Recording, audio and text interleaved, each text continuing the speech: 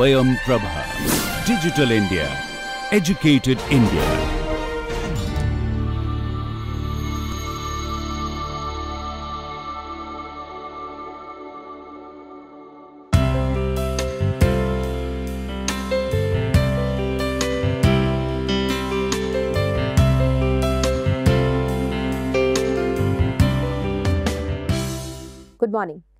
Welcome to the fourth lecture of this week 5 of ongoing online course on architectural graphics or engineering graphics which you commonly know of as engineering drawing.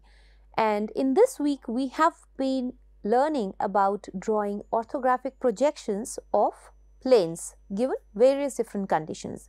So, so far what we have started with was a very simple plane which was perpendicular to both the planes and then we moved on to draw orthographic projections for a plane which was parallel to one of the planes and perpendicular to the other.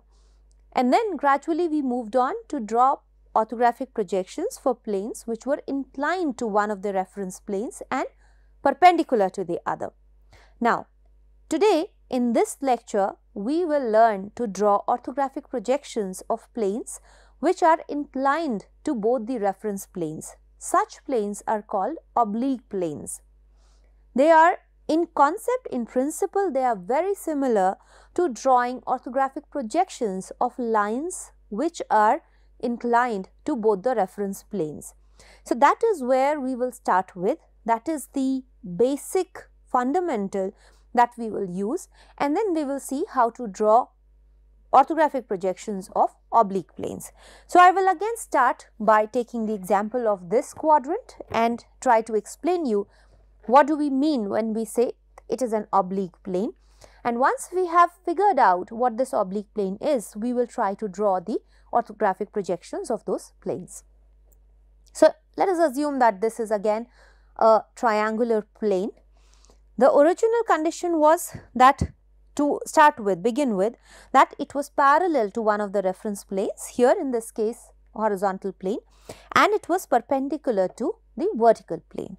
Now, if I incline it by say 30 degrees that it makes an angle of 30 degrees with the HP and it is still perpendicular. So, what do we get? We still get the same length of the line whatever was seen in VP when the plane was being parallel to the HP and it is just inclined by 30 degree and the same thing. So, what happens in this case is that this point which was originally seen here in the HP is now moving, but it is the locus of this is still the same horizontal projection which is this. So, we got this. Now, assume that this plane is inclined at 30 degrees to VP also. So, what does it mean? So, we have a plane which is like this and now this plane is inclined to 30 degrees as well. Now, we can understand this if we take the example or we start by understanding that this is one line. To start with, this is just one line which is the side of this triangle. This line is now inclined at 30 degree and we are saying that it is further inclined at 30 degree to the VP.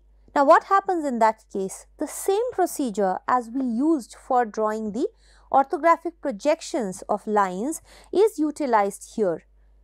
Many a times in planes, we do not get the rotation of one of the lines or what we will get because in this case, it is a simple plane, it is, an, it is a triangular plane. What if it was a circle? So, sometimes we may not be defining the inclination of any specific line. That is, it, in case it is given as the diameter making an angle of 30 degrees with HP or 30 degrees and 30 degrees with VP.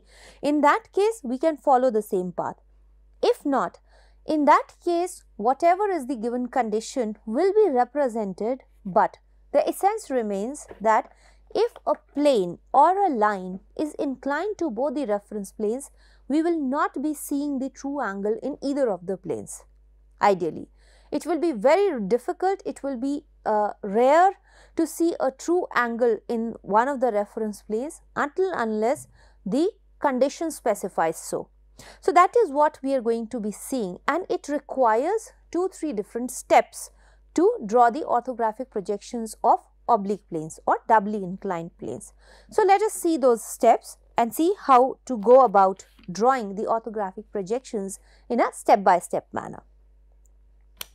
So, let us assume uh, to start with a very simple case. Now, let us assume that there is a square, square plane which has one of its points in horizontal plane. So, it has one of its points in horizontal plane and it is inclined, it is inclined at 30 degrees to HP and its diagonals which is joining the point in HP, that diagonal is making an angle of 30 degrees with VP. So, let us start by drawing the projections for this case. So,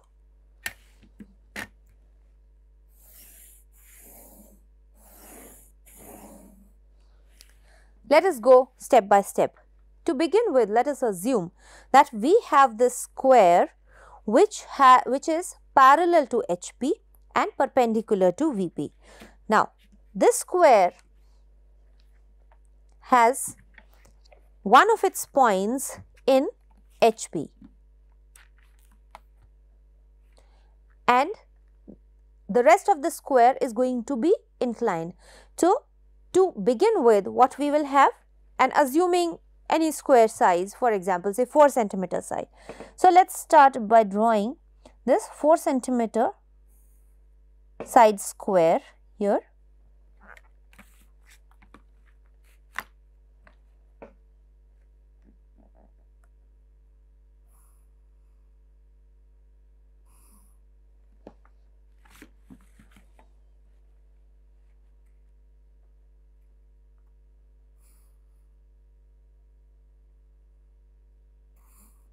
This is the square which we are assuming. Now, since it is it has only one point in HP that is why we have taken it as a diamond or it is rotated. Otherwise, when we start to incline it, it will become very difficult for us to incline it about one point if we keep it straight. Now, let us take the projections of this square so, this is not the, the final given condition, it is just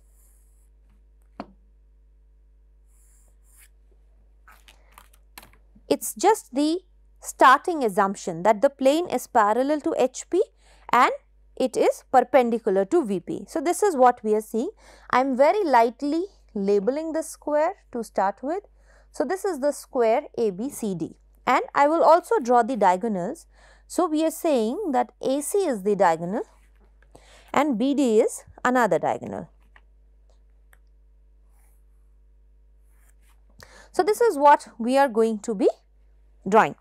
Now, the next condition says that this diagonal AC or this plane ABCD is inclined at 30 degrees to HP. So, what do we draw? We draw an inclination of 30 degrees to HP.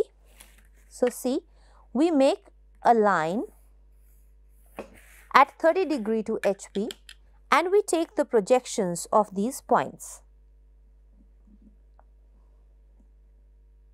So, if the inclination is in HP and the object the plane is perpendicular to VP, we will be seeing this inclination in VP.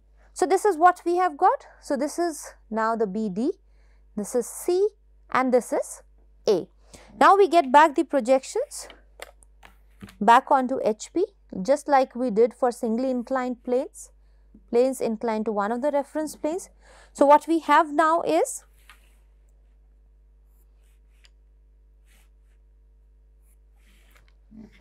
So, this is the new ABCD which is for a plane which is inclined at 30 degrees to HP and it is still perpendicular to VP. So, in VP we are still seeing the true length of the diagonal AC.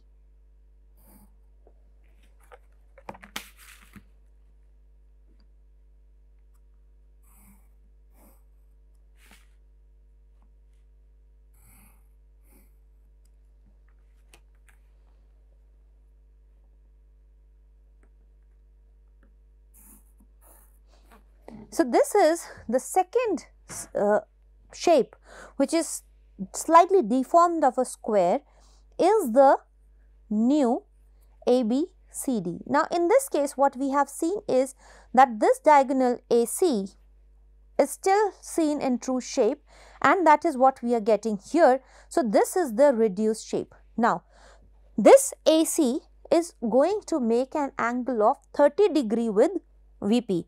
So, what do we take here? So, I am just drawing the horizontal projection. So, what we have? We will draw an angle of 30 degrees with VP now from this point A which is in HP. So, I make another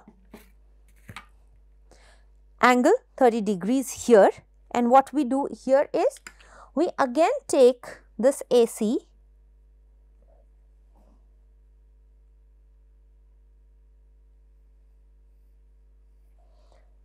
So, this is where our new AC in plan is going to be seen.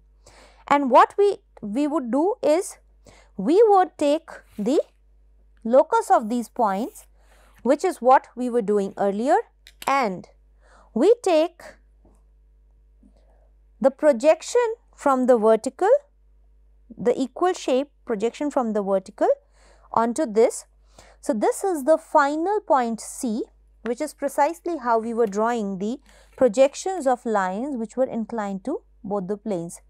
So, this is AC and the same thing we are doing here.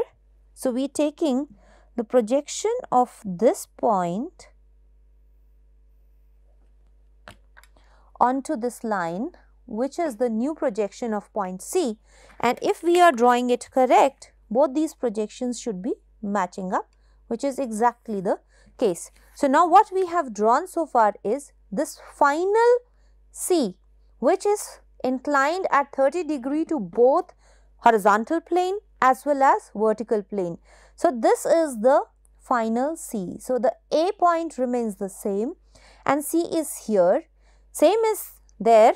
So, we have this A C and exactly the same thing we can do for this point B. So, we will get this point B which will be here.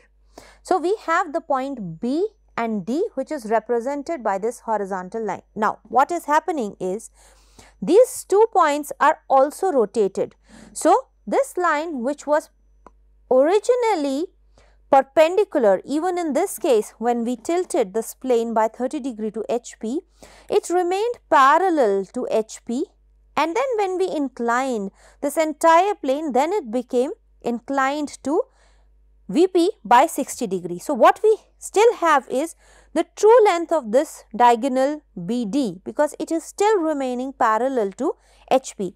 So, what do we draw? We have this point AC and we have this diagonal BD which is perpendicular to the AC. It is remaining perpendicular or it is inclined by 60 degree. So, what we can do? We can, we can move this B and D at the same distance from A as it was.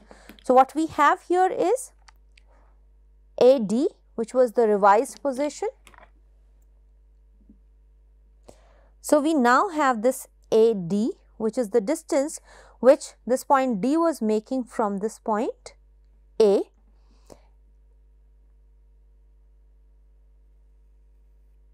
and there is this distance B which B was making from this point A again. So, which remains constant. And now, we have to make a line which is perpendicular to this final AC.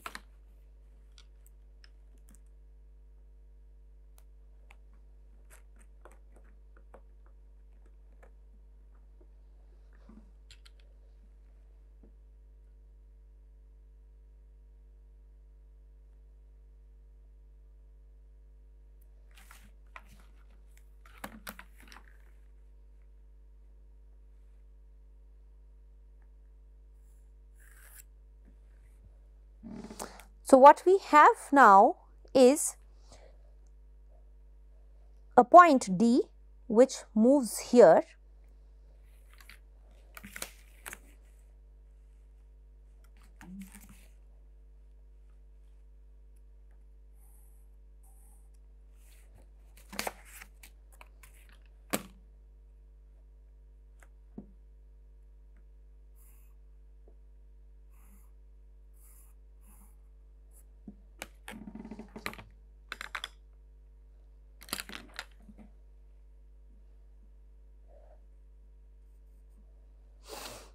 and this point B which is onto this diagonal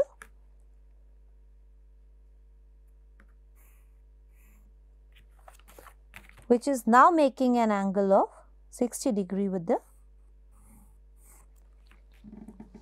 with the VP. And now if we project the B and D back onto the vertical plane. So, we have B and horizontally this B will come here and then we take the projection of this point D back which is here. So, what we have finally is a very deformed shape which is seen in our vertical plane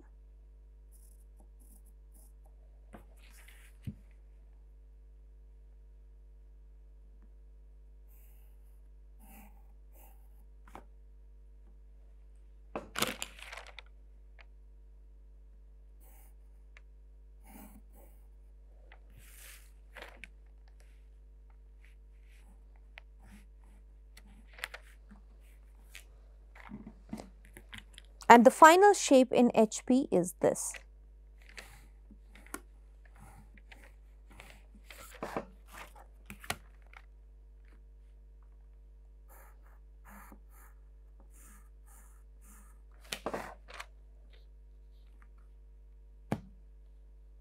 So, sometimes in books what you will see that as we have drawn this final shape onto the same shape because it was easier for us to move it Sometimes you will see that they take this shape outside and draw it all over so that it is easier. We just have to measure the distances, the same distances using compass or scale and then we will draw them separately so that there is no confusion between these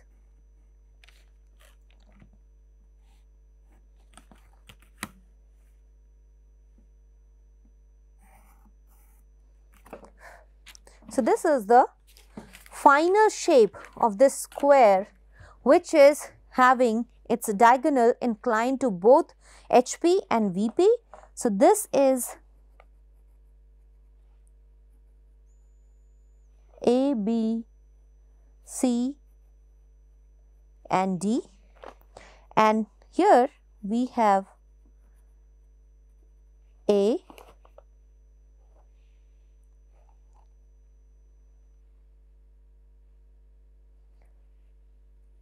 C, B and D in dash. This is the front view of this square and this is the top view of this square which is inclined to both the planes. This is VP here and this is HP. Now, just see what we have done what we have done is we started with this diagonal AC because the inclination of this plane could be determined by using this diagonal AC. This diagonal AC was inclined at 30 degrees to VP and also 30 degrees to the HP which is what we have just drawn here and then we took the horizontal projection how this plane is going to move and then we took the trace of uh, the same diagonal AC coming from the VP onto here and took the same thing there which is what the final projection of diagonal AC was and around it then we drew BD.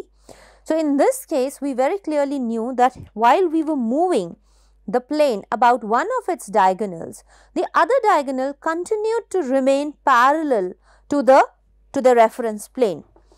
This sometimes might be tricky for you to understand. So, let me explain it to you again. Just imagine that this board is a horizontal plane, horizontal reference plane and this triangle or maybe I can take this. So, this is that square, assume this is the square and this square is resting on one of its corners here. So, what we are doing? This is A and this is C. So, what is happening in the original position? This is the square, it is resting in HP. Now, we incline it by 30 degrees, okay? We incline it by 30 degrees. So, what happens? This BD, which is represented by this line, this pencil. So, what happens? While we move it, this pencil still remains parallel to HP. So, we will get the true shape of BD, true size of BD here. Now, when we tilted it, when we tilted it like this, even then, even then the BD still remained parallel to HP, but it was just making a different angle with VP. That is what has happened. That is why we will still have the true shape of BD represented here and everything around it, it evolved. And then we will always have that the points will be different, points will match up. And that is what we have done here. We have I think I have slightly committed a mistake here if you see the B, the projection of B was coming up here. So, this was the point which we should have connected and not this point. This we mistook as the projection which was coming from C as the projection for B. So, what we will actually have is this. So, this is going to be our final shape. So, you always, it will always be that you will have the projections matching up both in HP and VP and which is a mandate for orthographic projections because they are perpendicular, they are orthographic. So, this is our final projection B dash. So, we got the BD as the true shape represented in HP and all other shapes are changed skewed because there is nothing which is parallel to VP. It is making a certain angle with VP and that is what we have derived out of a very stepwise process. This is step by step. So, I hope you have understood the process of drawing the doubly inclined planes. Now, suppose we had the same plane and instead of the angle which AC makes with VP, we were given the final angle which BD makes with the VP. In that case, what would happen? In that case, since the BD as we were understanding in the same given condition, BD was still parallel to HP. And now we say that keeping the point A as fixed, now this BD makes a certain angle say 60 degrees. So, in that case what happens? This entire shape which we, we had got as the second rhombus ABCD here that would be rotated in such a manner that a true angle which BD makes with VP is reflected. It is seen here. Let us quickly see that to give a slight twist to the same problem. So, we start again with the same square which was a square of 4 centimeter side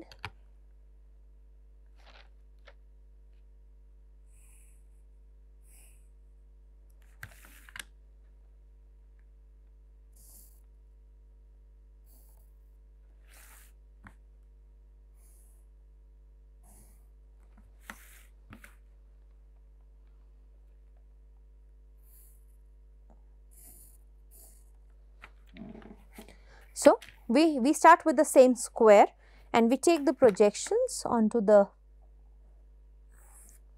vertical plane.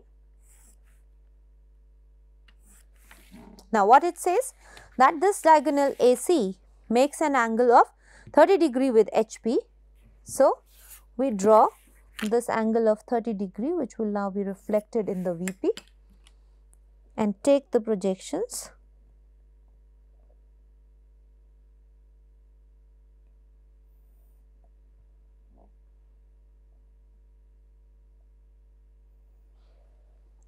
So, this is this is this diagonal AC, AC and let me also draw this diagonal BD for our reference here. So, that is the diagonal BD. Now, what we have now is this diagonal inclined. So, we get back the projections. So, what we have as a revised shape is this.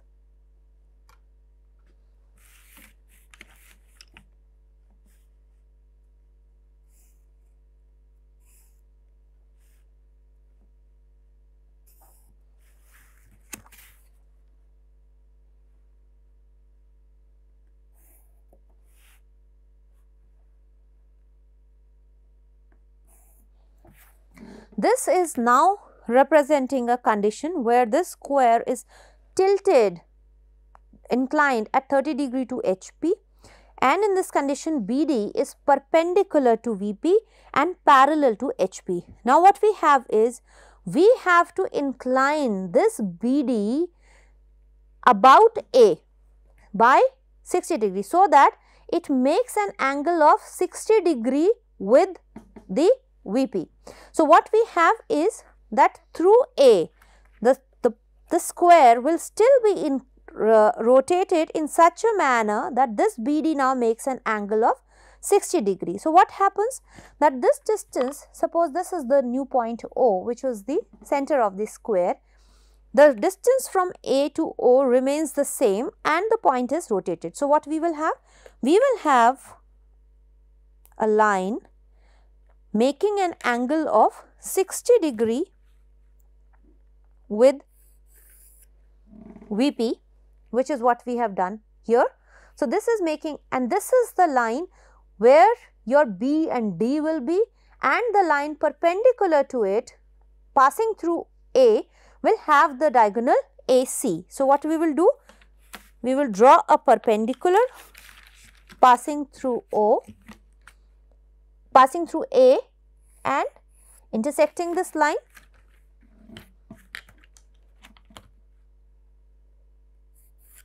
Now, we know that this point B and this point D are going to lie on this line and this point C is going to come onto this line. We will only take the distances and then move them. So, what we have here this distance AC is now here onto this diagonal which is the new C and perpendicular to it. So, this distance O to B will now be marked here which is going to be the same distance as O to D. So, the final shape of this square is this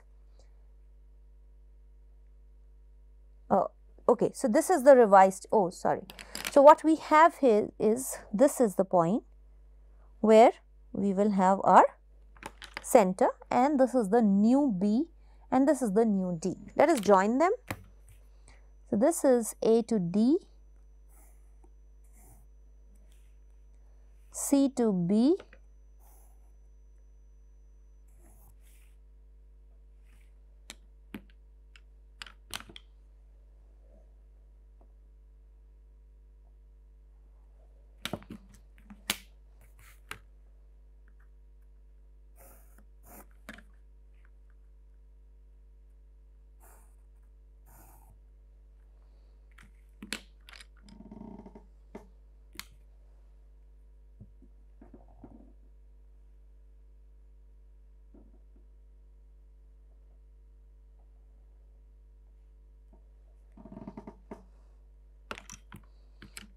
So, this is the point where C is from O.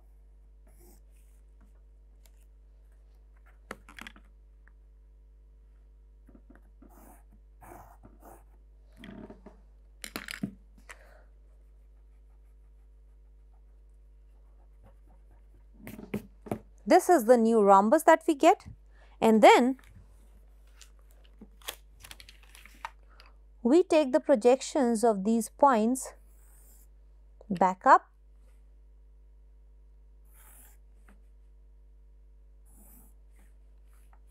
So, what we have the A remains the same. The point C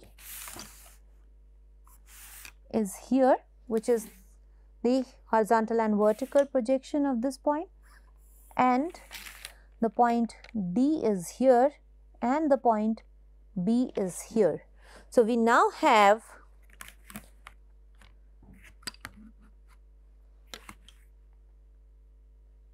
the final shape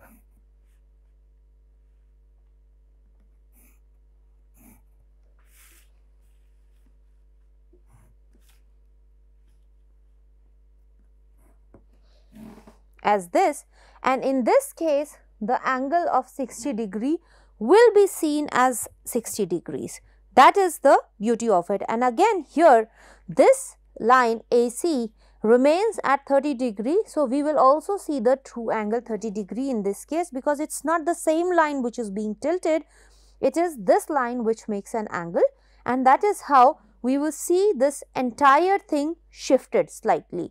So, this is sorry not this but this is the angle 30 degree here and this is the angle 60 degree here and we see this entire object looks very similar but it is slightly different from this shape as we are still seeing the true angle here.